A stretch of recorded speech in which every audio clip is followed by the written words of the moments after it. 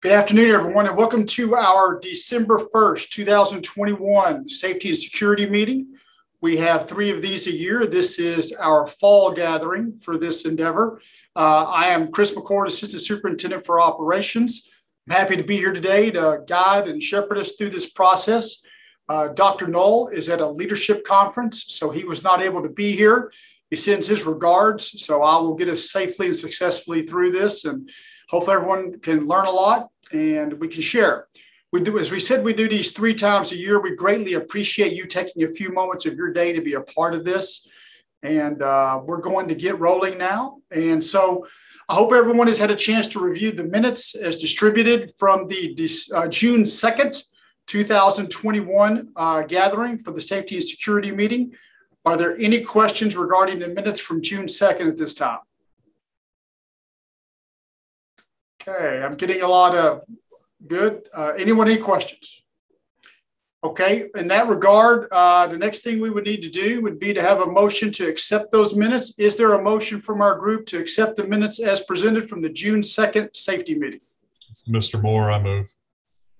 Okay, we have a first by Mr. Moore. Is there a second? I'll second. All right, Ethan Barton is our second. Any discussion regarding the June 2nd minutes from the safety and security meeting? Any discussion? Okay. Uh, well, then, if there's not any discussion, if all those in favor could maybe raise your right hand, we'll see. And it looks like that they're overwhelmingly accepted. So great job, Mrs. Godfrey. If you can note that, that'd be great. We have accepted the minutes from the June 2nd meeting. So we've got a great lineup today. We're going to talk about things, and I think we're going to try to make this interesting. Uh, as always, we welcome questions, and we'll try to answer those questions to the best of our ability, while at the same time maintaining security or of sensitive information uh, as it might relate to the question. But we are here for you. And batting leadoff today to get us started is Captain Matt Blakelock and he's going to be addressing uh, the Conroe ISD Police Department update. So, Captain Blakelock. Good afternoon, everybody, and thank you for allowing me to give you a brief overview of the Conroe ISD Police Department today. The Conroe ISD Police Department's motto is that we safeguard the future today. We align with the district's mission by working in tandem with district management to ensure that we protect students, visitors, staff, and properties of the district. The police department has 81 full time officer positions, 25 prevention control security monitors, six full time 911 dispatchers, and 95 crossing guards at over 102 locations. Our officers are highly trained. It's something that we're very proud of. The Texas Commission on Law Enforcement requires that officers uh, receive 40 hours of continuing education training every two years. And we're proud to say that CISD PD officers receive well over 100 hours each year. Our training revolves around safety, professionalism, and emergency response. We are one of about 200 training providers in the state of Texas uh, out of over 2,700 law enforcement agencies, and we have over 20 certified police instructors. The Conroe City Police Department uh, was recognized first in 2014 by the Texas Police Chiefs Association uh, Best Practices Recognition Program. It is a program that's designed on a national accreditation for police departments. It has over 170 individual best practices that are designed to ensure efficient and effective delivery of police services while reducing risk and protecting uh, individual rights. We were we were recognized. Uh, the the program recognizes an agency for four years as long as they continue with constant audits and reporting. And we were recognized first in 2014 and then in 2018, and we are set to be re recognized in 2022. Now, we recognize that our success relies upon partnerships. Uh, we work and train with other law enforcement, fire, and EMS agencies regularly uh, in and outside of our county. And an example of that is we provide active shooter training to many agencies in the greater Houston area. We also recognize that, that communities affect schools and schools affect communities. Uh, we invite other law enforcement into our schools to familiarize their officers with our campuses and with our officers, uh, to be an extra presence in and around our schools, and to help um, help our kids get to know them and their departments. We work hand in hand with our administrators uh, on campus concerns and safety planning and response, with our counselors in crisis intervention and support, and with district staff just to further the mission of our district. And we partner with students, parents, and the community because we realize that it takes everyone being involved to make our schools safe. As part of that, the police department offers a variety of safety programs. I've listed a few on the slide today. Uh, there's a multitude of training that we're able to put on for students, parents, uh, and the general public. Uh, we do that inside and outside of the schools. And we also operate a police activity league, which is a nonprofit run by the police department that provides a lot of mentorship and programs to CISD students. We offer summer camps, uh, student leadership program, uh, Kid Chat Anonymous tip line. Uh, we are just wrapping up our Coats for Kids drive that we do starting every October and ending in November, closer to December, where we provide coats for kids who may not have one for the winter. And as we close that out, we're beginning our holiday gift drive now, which provides uh, Christmas for CISD students who may otherwise not have it. And we're able to provide Christmas for between 600 kids and 1,000 kids every year, which is pretty amazing.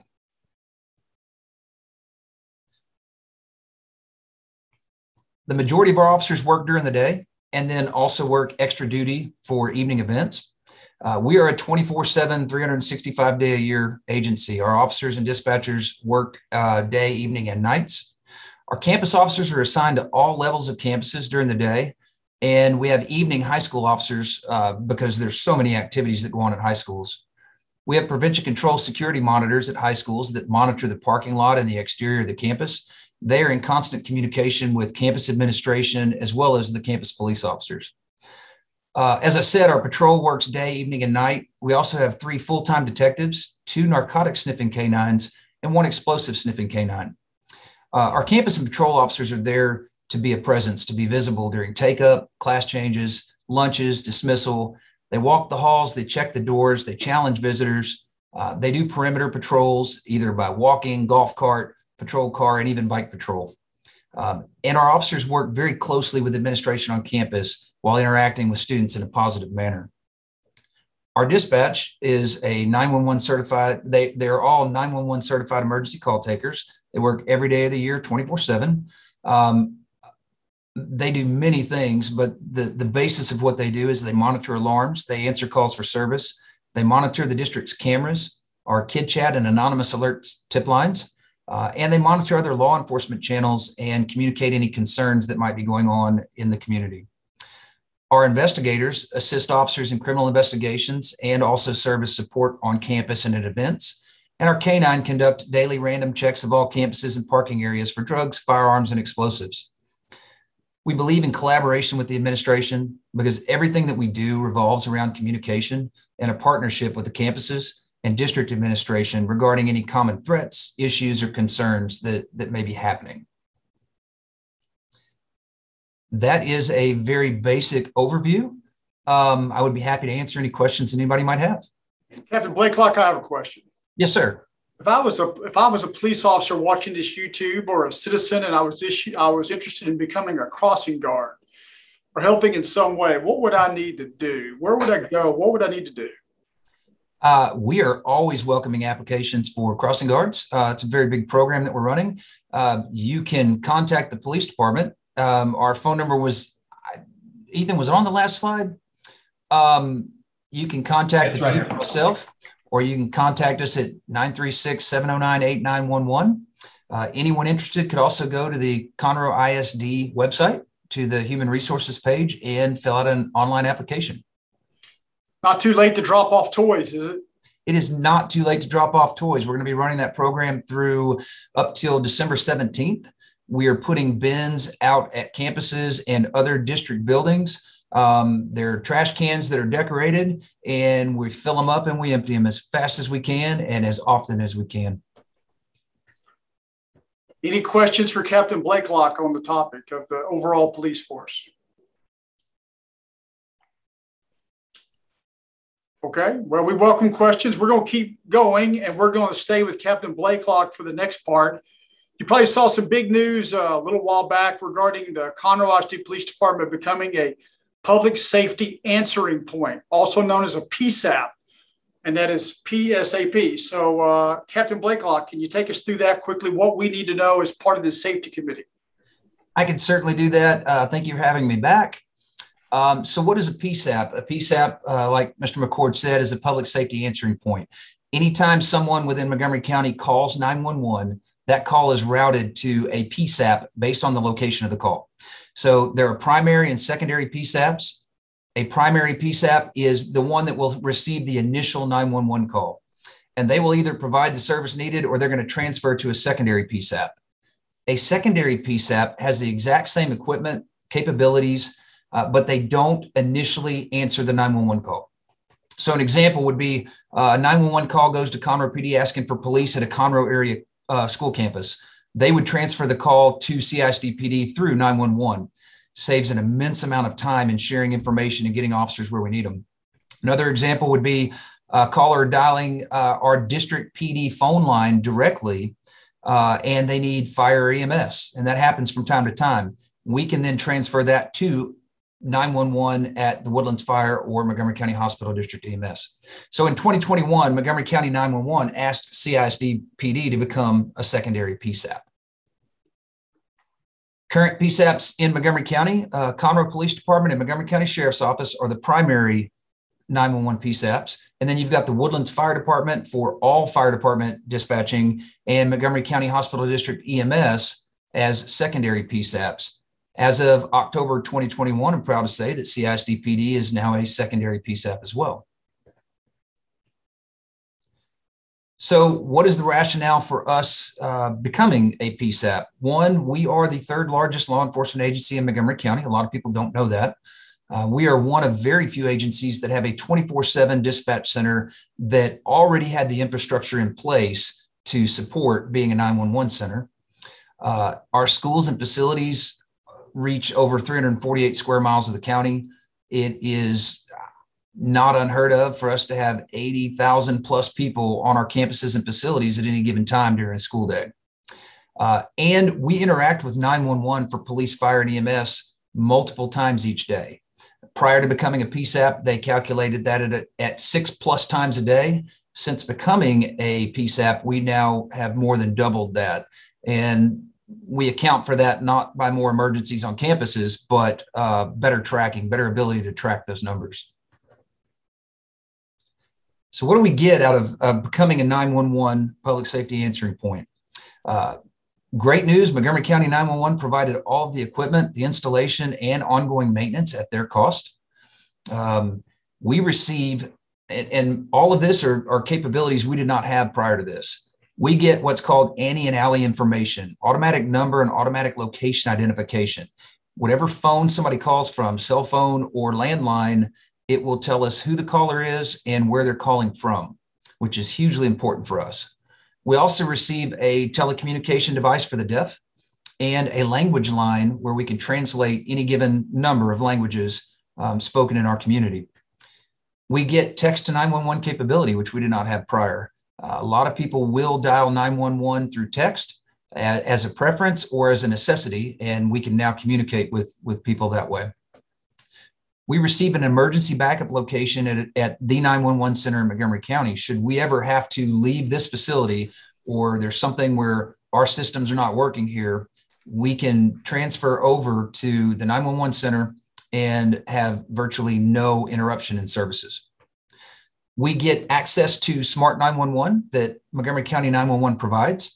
Smart 911 allows any citizen in Montgomery County to register their personal information if they have any medical information or property information that emergency responders might need. They can have that before arriving on scene. And part of that is also RAVE facility profiles that Ethan Barton's going to talk about in a little bit, is basically the same thing, but for entities, for, for businesses and entities we have rave facility profiles for our campuses at the district. And then lastly, we get uh, analytics and report capabilities. So we can see the number of calls, the emergency calls that come in, the type, and um, the frequency of those calls. So who benefits? Um, Conroe ISD benefits our community and our citizens. Our services are, are being able, we're able to get officers on scene and get fire and EMS to locations a lot faster because of this. It strengthens an already great working relationship that we have with other emergency agencies. Um, Montgomery County 911 bears the cost of the equipment, installation, maintenance, and the training of our dispatchers. And Montgomery County 911 Board approved this interlocal agreement in May of 2021, and the CISD Board of Trustees approved it uh, on June 15th, 2021. With that, I'm happy to answer any questions once again. Questions for Captain Blakelock regarding PSAP? Captain, like Smart 911, what example I could register like if I if I had a dog or someone was diabetic at my house, or what would be some examples of some things I would register? Those those are actually really good examples. There are people that will register that they have um, dogs that are not friendly. There are people that will register that they have certain um, chemicals or things like that stored at their house legally. Um, people will most often list uh, medical conditions. Um, sometimes they'll they'll list the locations of where certain people are in certain rooms. It's it's quite open to be able to put the information in that, that you want emergency responders to know. What website do I go to to do that? I might actually be interested in doing that. If you go to Montgomery County, if you Google Montgomery County 911, um, it will take you to their site and you can it'll it'll show you how to start a profile. So I have a question about that, Captain Blakelock, because you know I think I've done that in the past. But my con- my question then is, let's say I'm driving down the road and I'm witnessing an emergency and I'm dialing nine one one to talk to them, and let's say I lose the signal or whatever. If if I understand the way the profile works, wouldn't they be sending someone to my house even though I'm not there? So what the first thing that they would do is is it would show your profile. Um, However, if they weren't able to ascertain that it was your emergency, the great thing about the ANI and ALI information is they'll have your callback information and they'll immediately attempt to call you back. Um, if they aren't sure, they may send an emergency responder to your house. Um, but odds are they're going to try to call you back and, and make contact with you uh, should the reception should should you lose reception. Thank you. Captain Blakelock to PSAP, it really didn't cost us much of anything, did it? There were minimal minimal cost, uh, just upgrading some outlets and things like that. Um, we already possessed the uh, the phone and radio recording equipment, the dispatch consoles, um, all of the things that we had to already be a 24 7 emergency dispatch. And so it was just bringing in the 911 equipment. Any other questions for Captain Blakelock regarding uh, public safety answering point? Okay. Captain Blakelock, we appreciate you. Someone may sprawl back and ask a question later. We appreciate your time. We're going to transition to Ethan Barton, our coordinator of school safety and hearing, hearing officer, and he is going to talk about another item that we use that has very limited cost, if any, and that is rave facilities. So, Ethan, take it away. All right, appreciate it, and thank you all for being here again. Um, this and Captain Blakelock mentioned this, and with them becoming the PSAP, but this is one thing that we've had in place uh, around four or five years. It's something that I, I, just kind of stumbled upon and just found out recently that the county pays for it. But I had gone in four slash five years ago, whatever it may be, and built a profile for each one of our campuses and facilities um, within the district. And it's RAVE facility, it's through Smart 911, but what it uses is geofencing um, and so every single facility that we have campus, and as you can see here, it's broken down by the blue part is the entire campus. And College Park is a great example of this because it's so spread out and large, big, huge campus. And then you break it down into individual buildings, main campus, athletics, and then down in the back where you have baseball and softball. And um, each 911 entity within the county or public service answering point PSAP is on there. We've submitted all of those and they've all been approved by 911. And yesterday, while we were working on this um, presentation and talking about it, county actually called about ours because I had questioned them. And so those have all been enabled as well and been approved. So we are good to go. The thing with this is, is the benefit of this, excuse me, is um, it's cellular based, of course. And so it doesn't matter with our uh, IP phones, they're going to know exactly where that location is coming from. However, if we do have 911 calls that are placed on or in our buildings or on our properties or whatnot, it's going to be able to allow the police, first responders, or whatever to know that that cell phone call is coming from one of our facilities or one of our properties. And so, um, just to give you a little bit of a, a better visual of it, um, this is what it actually looks like within the system. And sorry, it had logged out. And so we'll just go back. And as you can see, you know, all of our campuses and facilities are in there. And if I'm going too fast, I apologize and making spasm or your eyes messed up. But as College Park, it's got everything in there status, basic info, map, buildings, people, resources, and then your 911 call centers. But as you go in, it just gives you your, your global view. And then I just went in and geofenced each particular individual location within there. And then um, at the very end, without showing the information that's in there about it, it just goes through, shows you each individual um, PSAP that you go through. And now all of those are active so if anybody were to dial 911 in one of our buildings um, within that geo fence, it would pretty much give them a precise location. Is that not correct, Captain Blakelock? That is correct. Okay. And so um, that is, and as Mr. McCord said, minimal cost. Actually, the only thing it cost was time to put all those in there. And then, of course, as those calls come in, it's going to just going to increase communication, increase response time. And then not only that, it's going to be able to give them direction to respond uh, to a specific area, you know, due to a volume of calls or where it's coming from. Um, is there any questions or any input that you guys have in regard to that? I know it's a quick overview, um, but without going too far into depth, it's just one more layer that we have to um, help out anybody that's going to have to respond to our campuses should there be an emergency. Any questions for Mr. Martin regarding RAVE facility? So Ethan and Captain, you have pretty good synergy between the PSAP and RAVE facility.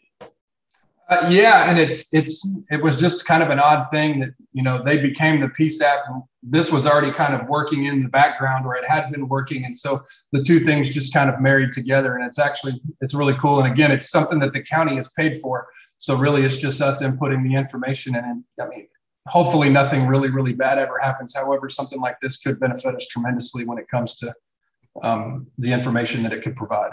And you know what the the funny note is, um, until we became a PSAP, we would not even have access to our own RAVE facility profiles through their through their system as an emergency agency. So us becoming a PSAP and then now having that additional information is fantastic for us. Any other questions for Ethan? We're good for questions. If not, we're going to transition to Mr. Muir, Steve Muir, and from School Safety and he's going to talk. We've talked about the importance of communication, and you know, events in the country constantly show us how important it is to be able to communicate when something goes awry. And uh, we've got a great plan and doing some things to make it even better.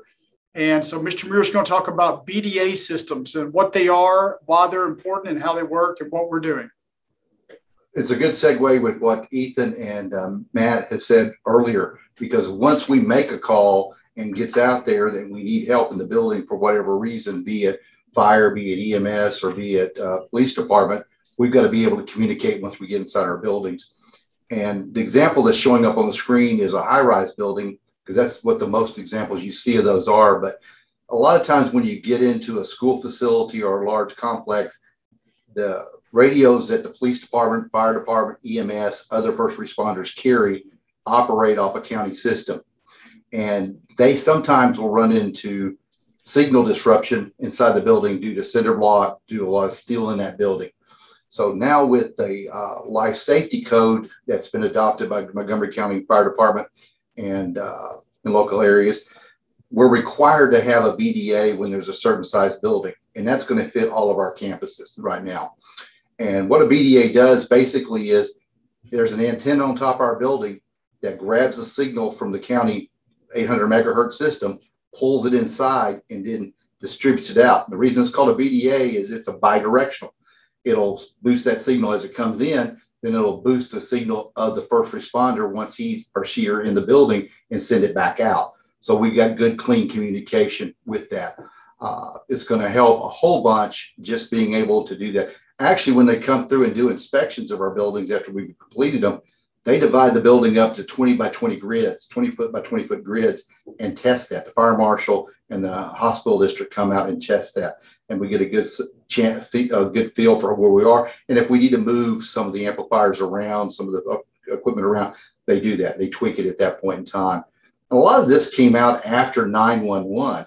As you can imagine, there was a lot of problems with communications. We learned in that and other emergency incidents after 911. But the city of Houston, Montgomery County, and Harris County came together and made a 800 megahertz system available to us. We're lucky to be a part of that.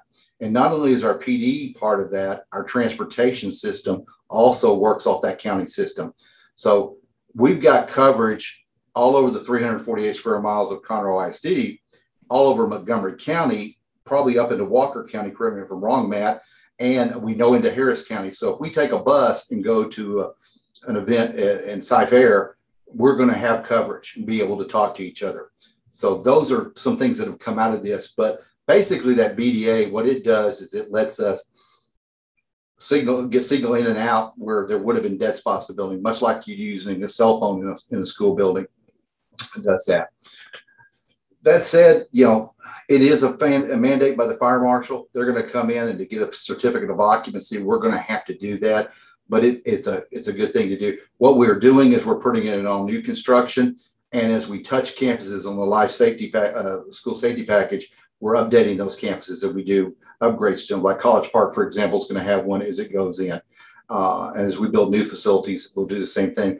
And we've got plans for all this. At the same time we did this, we found that uh, our campuses were having trouble with their their digital radios, walkie-talkies that the assistant principals and principals use for safety during the day. So at the same time, we're running an amplification system for those digital radios to give us good coverage in those buildings at the same time because we can save uh, scale of uh, economy of scale because we can run that conduit and run those antennas at the same time. So we've done a lot of those things too. So we, we feel real good about where we're headed with this and it makes us a whole lot safer in the long run in, in the event something bad happens on a, in a facility.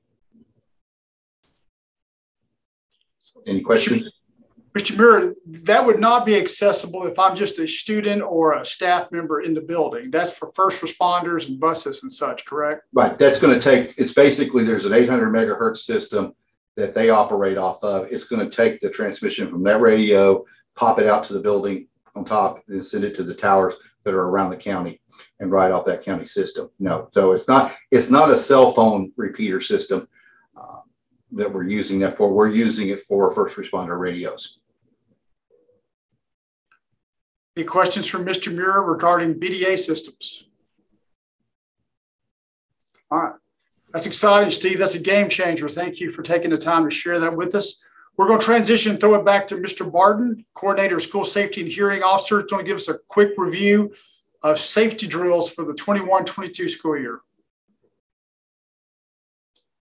Of course, and uh, as we had said, or we talked about before, in light of recent events and then even our severe weather that we had not too long ago, um, drilling is an all important thing. Just wanted to make sure that the committee understood what it is that we do is in regard to our required drills and their frequency, you know, by the state and such. And so um, of course, we're required our fire evacuation drills, which are required by the state, one for every 10 school days. And so essentially it equates to around 10 a school year, once a month.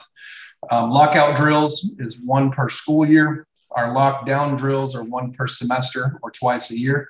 Um, evacuate, which essentially is the same thing as a fire evacuation, is one per school year, just to make sure that you can quickly move students out of the building. Um, our shelter in place, severe weather and hazmat, which is the one that we got a freebie not too long ago because of the weather, where everybody pretty much had to go into shelter in place for various reasons, tornadoes, tornado watch, etc. Um, those are one per school year. Um, a hold, which is recently new, as you all for the committee know, when we've uh, refreshed, updated our um, our MEOP that was added in as part of the standard response protocol. And that's essentially just if there's a medical emergency in the building, just making sure that we we have the ability to make sure that everybody holds in place and we're not having people come out into into a hallway in a situation where they don't need to be in the middle of. Um, reverse evacuation, we require those. It's not by the state, but we require them. Um, just making sure that when you have kids outside that you can quickly and efficiently get them back inside the building. So just make sure that you have a plan in place in order to make sure that that happens. Um, and then of course, tabletop drills, um, we don't we don't necessarily require them. We recommend them. And then we also provide um, a lot of resources for our administrators to go and look through folders to be able to to go through and do any type of tabletop situation that, that you can dream of that are in there. And then we have a lot of those resources for them to do. And then of course they can use them as a guide and, and really just kind of make up any situation that they would like and be able to tabletop it just to kind of uh, um, get their drilling a little bit better um, and how they're going to respond to things and, and multi-hazard incidents. So just wanted to make sure that you guys knew that we're doing those required drills. Um, and we do have a system in place of accountability um, within our SSO system to be able to check that and ensure that we are completing all of those drills. Um, and I actually went through them all today and we're actually looking really good as a district in regard to making sure that those are done for um, what, what is going to be required at this semester. So um, does anybody have any input, any questions about drills, things that you feel that maybe we should be doing that are not on this list that would be outside of what are required by the safety center in the state, anything like that?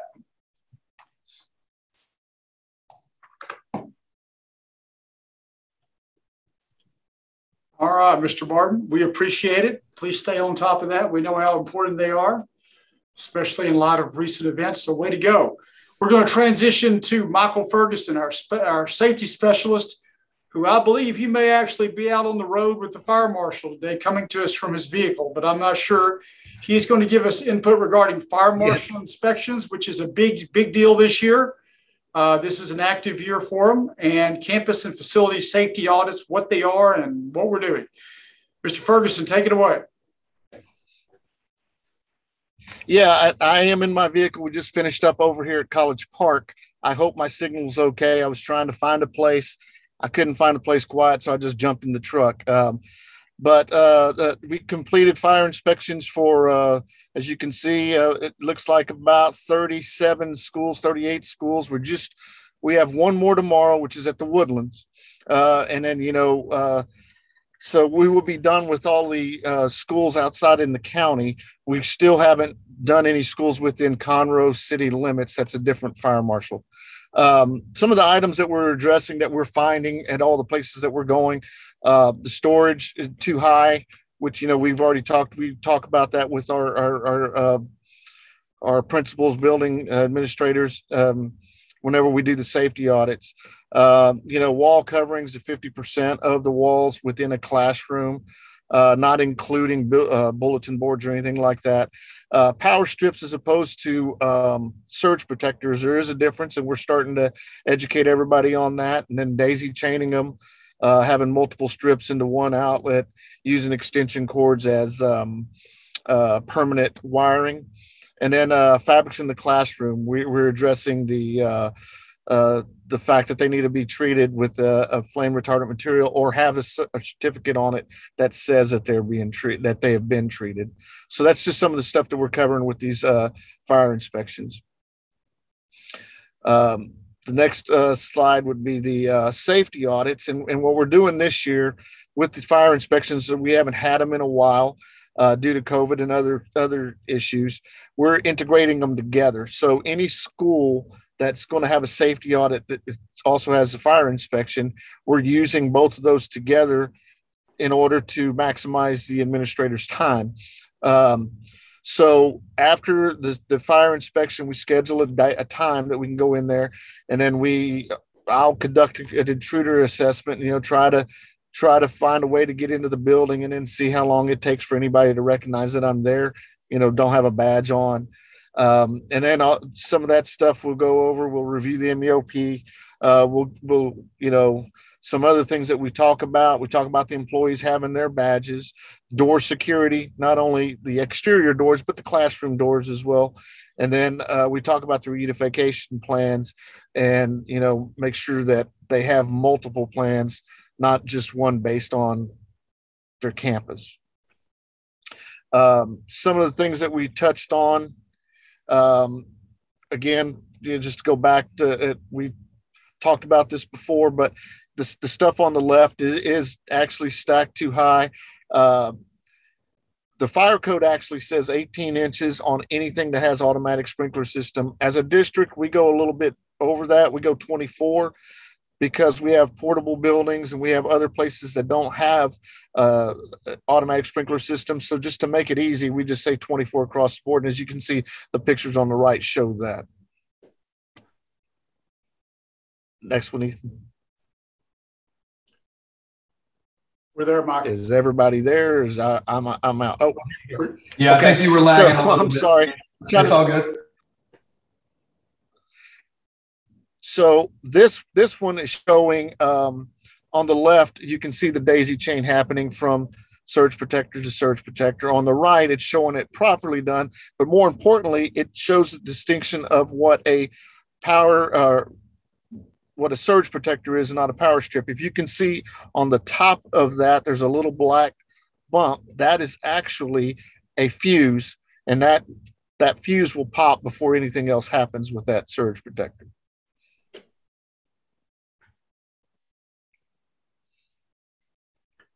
And if there's any questions and I can get them, I will definitely answer them for you. Uh, if you have any uh, uh, suggestions or any input.